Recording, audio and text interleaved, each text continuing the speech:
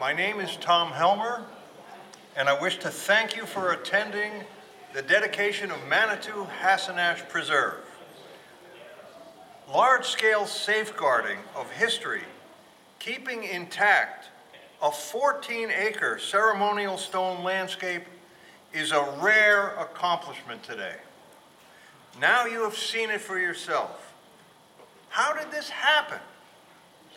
Being involved since the beginning, I want to pass along what we did right to help you succeed in your own preservation efforts, and my big mistake to help guide you with the problems that you will face. First, you need someone to teach you to see the Narragansett presence in the forest. For generations of us in Hopkinton, that person was Bob Miner. Bob, could you please stand up and receive our thanks?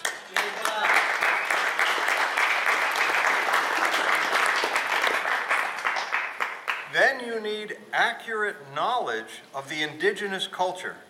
Loren Spears and her mother, Dawn Dove, who participated with Doug at the dedication ceremony, they're from the national award-winning Tomaquag Museum in Exeter. Now, I don't see Dawn here, but she's one of the people we want to acknowledge their thanks, her and Loren.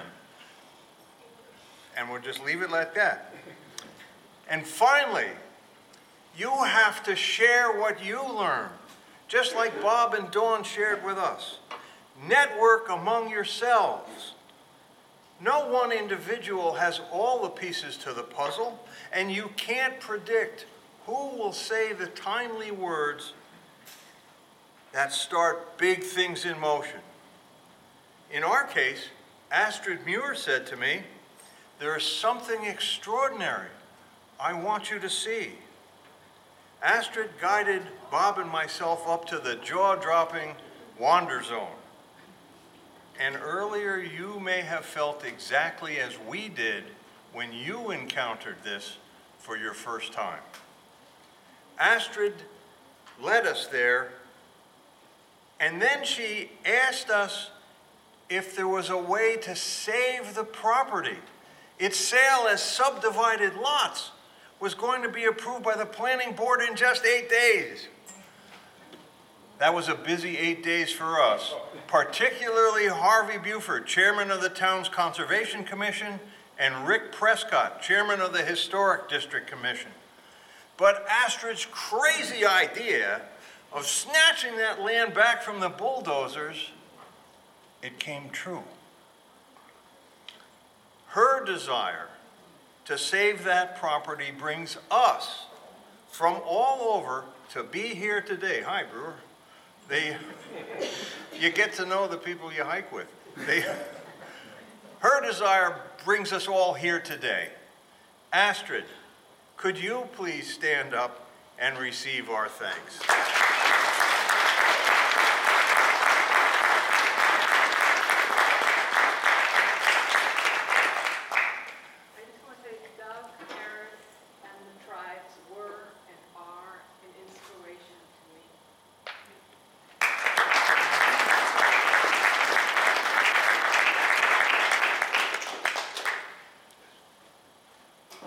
I thought it was impossible. Eight days, come on. But I spoke with Harvey and showed him the photos that you saw in the gallery. Harvey calls Steve DiMarzo, the Rhode Island, um, the Rhode Island Grand Assaulted Poobah for Rhode Island, for NEARA. That's it. They, and he sees this stuff, and the first thing you know, he calls Terry Deveau way up in Nova Scotia, and then next thing you know, Terry's calling me pledging NEARA to help us with our preservation efforts. And that is why networking, even in a hopeless cause, is important. NEARA flooded town hall with letters. Our local outdoorsy group showed up for the meeting, and I enthusiastically gave Harvey packets of 20 photos each to give to each board member before their meeting began, and then later it turned into public comment in that period.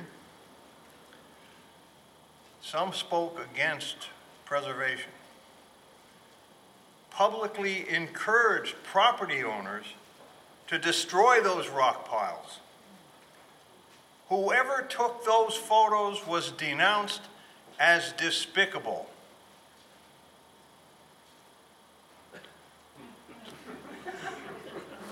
I followed that one to the microphone. And with a smile, introduced myself as Mr. Despicable.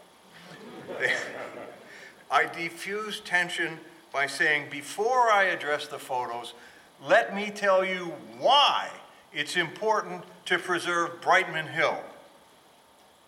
And all but one listened attentively. The lesson for you is this you will also face hostility. Don't lose your cool over the name calling small stuff. You keep in mind the big picture. Doug Harris closed the meeting with the planning board hanging on his every word, and they postponed their approval vote and scheduled their next meeting as a site walk up on Brightman Hill where we walk today. And the landscape certainly spoke to them. The sale then went forward, but with new protective restrictions, giving us more time. We had more to do if we wanted to actually save the land. Permanent protection comes from ownership of the site.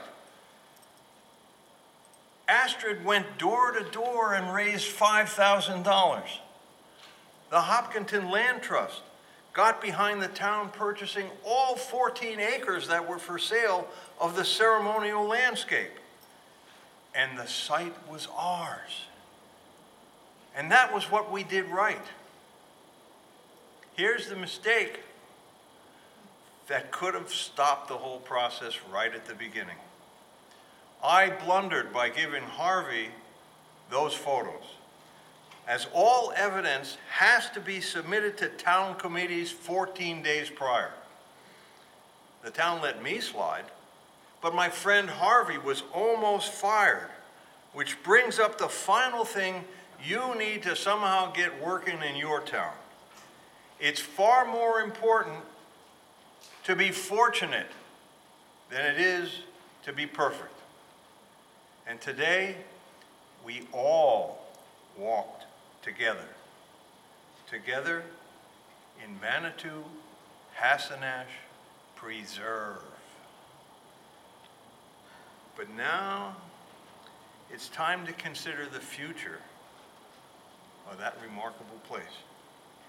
Since the spring, we have worked closely with the Narragansett tribe to utilize new, streamlined federal procedures when applying to the National Register of Historic Places for Manitou Hasanash Preserve's ceremonial stone landscape. The tribes now define what is a CSL. If the Hopkinton Land Trust and the Narragansett tribe and the other three members con, uh, joining with the Narragansetts request recognition for the property's historic value, this application is reviewed by the state's historical preservation officer. If he agrees that the, the property meets the guidelines, then it moves up to the federal level for nomination as a national historic place. Now, Doug Harris already spoke to this, and he may, may have more to add later in his part, but I was asked to tell you that this process is advancing to favorable responses locally and on up the line. We are optimistic that Manitou Hasanash Preserve will be the first ceremonial stone landscape registered as a National Historic Place located east of the Mississippi River.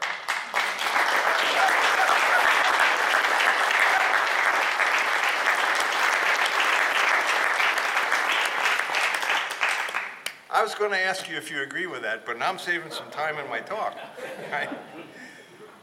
We are on the doorstep of national recognition because so many individuals did their part to save this site from inevitable development And many of those individuals are sitting here in this room today.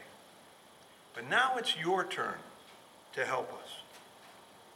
We will present our guest register as evidence that there is a large, enthusiastic, energized group who are interested in this aspect of history. As of now, there's more people sitting in here than have signed the book, not counting the staff. That's not going to impress the feds. Please, before you help us. Help us by each one of you here signing the guest book, which is over at the map table. Please, adding all our names together can help us make this happen. And save your CSL Day programs. Because you might want to come back to Hopkinton if you can find it again.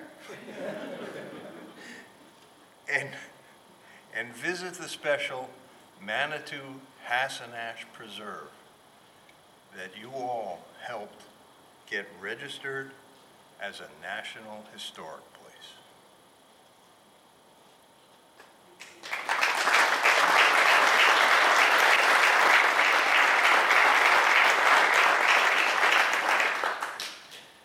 Steve DeMarzo and Todd Carden teamed up to document thousands of Manitou Hassanash in Hopkinton. Steve will speak about how do you find and document woodland sites. Steve DeMarzo, please.